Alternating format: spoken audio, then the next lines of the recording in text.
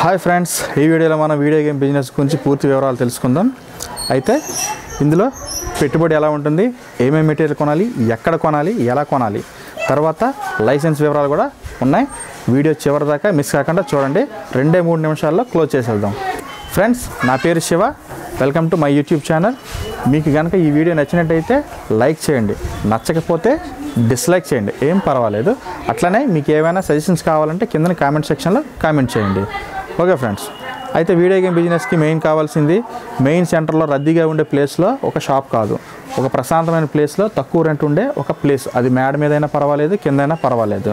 తర్వాత దీనికి ఒక మనకి ఒక పదివేల రూపాయలు ఖర్చు అవుతుంది అడ్వాన్స్గా. తర్వాత మనకి కావాల్సింది ఫర్నిచర్. ఫర్నిచర్కి ఒక ఇరవై వేల రూపాయల వరకు ఖర్చు అవుతుంది. తర్వాత అన్ఇంటరప్టెడ్గా గేమ్స్ ఆడుకోవడానికి మనకు ఒక ఇన్వర్టర్ కావాలి దానికి ఒక ఇరవై వేల రూపాయల వరకు ఖర్చు అవుతుంది. ఇంకా చెప్పాలంటే మనకి మెయిన్గా ప్లేయర్స్ ప్లే స్టేషన్ టూ ప్లేయర్స్ని కొనుక్కోవాల్సి ఉంటుంది. ఒక్కొక్కటి ఆరు వేలు ఉంటుంది. మనం కానీ ఒక పది ప్లేయర్లు కొనుక్కుంటే ఒక లక్ష రూపాయ సారీ అరవై వేల రూపాయల వరకు ఖర్చు అవుతుంది తర్వాత ఎల్ఈడి టీవీస్ పదివేల రూపాయల మోడల్స్ ఒక పది తీసుకుంటే లక్ష రూపాయలు ఖర్చు అవుతుంది ఇంకా జాయ్ స్టిక్స్ మన వీడియో గేమ్ బిజినెస్లో ఎక్కువగా జాయ్ స్టిక్స్ పాడైపోతుంటాయి. అందువల్ల మనం ఒక యాభై జాయ్ స్టిక్స్ని స్పేర్గా కొనుక్కొని పెట్టుకోవాలి. ఒక్కో జాయ్ స్టిక్ రెండు వందల రూపాయలు ఉంటుంది. యావరేజ్గా దానికి ఒక పదివేల రూపాయలు ఖర్చు అవుతుంది టోటల్గా మనకి రెండు లక్షల పదివేల రూపాయలు పెట్టుబడి అవుతుంది. ఇంకా నెక్స్ట్ స్టెప్ ఏంటంటే బిజినెస్లో ఇన్కమ్ ఎలా ఉంటుంది?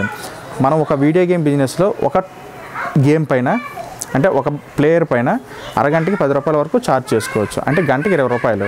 మన దగ్గర పది ప్లేయర్స్ ఉంటాయి కాబట్టి గంటకి రెండు వందల రూపాయలు వస్తుంది. మనకి main business time evening time four o'clock నుండి నైట్ నైన్ ఓ క్లాక్ వరకు. So five hours. ఐదు గంటలకి వెయ్యి రూపాయలు.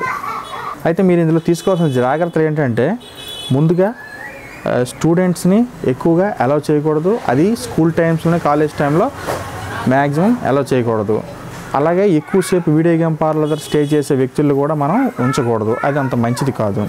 ఇంకా మన లైసెన్స్ తాలూకా డీటెయిల్స్ దాని తాలూకా ఫామ్ అనేది కింద డిస్క్రిప్షన్లో డౌన్లోడ్ లింక్ ఇచ్చాను. అది క్లిక్ చేసి ఒకసారి చూసుకోండి. తర్వాత మెయిన్గా మెటీరియల్ ఎక్కడ దొరుకుతుంది అనేది చాలామందికి వచ్చే ప్రశ్న. దాని గురించి ఇప్పుడు నేను క్లియర్గా చెప్తాను చూడండి. నేనైతే మూడు ప్లేసులు చెప్తాను. ఇందులో నేను దేన్ని కూడా ప్రమోట్ చేయడానికి కాదు. మీరు ఫోన్ చేసి నచ్చిన దగ్గర కొనుక్కోండి. మొట్టమొదటిది చెన్నైలోని మౌంట్ రోడ్ దగ్గర rich street Musa games. So ఇక్కడ హోల్సేల్గా చాలా తక్కువ ప్రైసెస్ దొరుకుతాయి. నేను చెప్పే మూడు ప్లేసుల్లో. తర్వాత హైదరాబాద్ కోటిలోని హరిదాస్ మార్కెట్ ఉంటుంది. ఇక్కడ కూడా వీడియో గేమ్స్ ఉంటాయి. అక్కడ కూడా మీరు హోల్సేల్ షాప్లే ఉంటాయి. నచ్చిన ప్లేస్లో కొనుక్కోవచ్చు. ఇంకా మూడోది విజయవాడలో మన ఎన్టీఆర్ కాంప్లెక్స్ దగ్గర రెండు మూడు షాపులు ఉన్నట్టు నాకు తెలిసింది. సో ఇక్కడ రేట్స్ కొంచెం ఎక్కువ ఉండే అవకాశం ఉంది. సో ఈ మూడు ప్లేసుల్లో మీకు అవైలబిలిటీ కన్వీనియంట్గా ఉన్న ప్లేస్లో మీరు బార్గెనింగ్ చేసుకొని వీడియో గేమ్స్ కొనుక్కోండి. ఓకే ఫ్రెండ్స్ ఈ వీడియో కానీ మీకు నచ్చినట్టయితే లైక్ చేయండి కామెంట్ చేయండి షేర్ చేయండి సబ్స్క్రైబ్ చేయండి. ఓకే ఫ్రెండ్స్ ఈ వీడియో ఉపయోగకరంగా ఉంటే మటుగా మీ ఫ్రెండ్స్కి తప్పనిసరిగా షేర్ చేయండి. ఎందుకంటే ఈ బిజినెస్ మీద మనకి ఇంట్రెస్ట్ లేకపోయినా మన ఫ్రెండ్స్కి ఉండే అవకాశం ఉంటుంది. సో వాళ్ళు కూడా తెలుసుకుంటారు. తర్వాత సబ్స్క్రైబ్ చేయండి. నా నెక్స్ట్ వీడియోస్ ఏవి మిస్ అవ్వకుండా ఉంటారు. Thanks for watching this is Shiva signing off